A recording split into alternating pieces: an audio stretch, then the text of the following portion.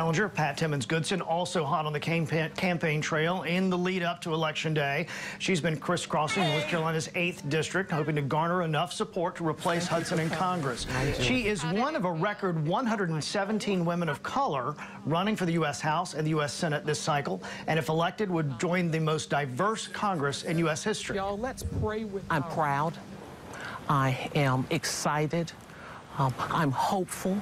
I'm prayerful. Looking at the possibility that we're going to increase that diversity makes me even more optimistic and hopeful for, for this country.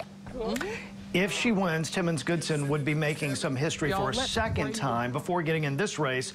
She was the first black woman to serve on North Carolina's Supreme Court.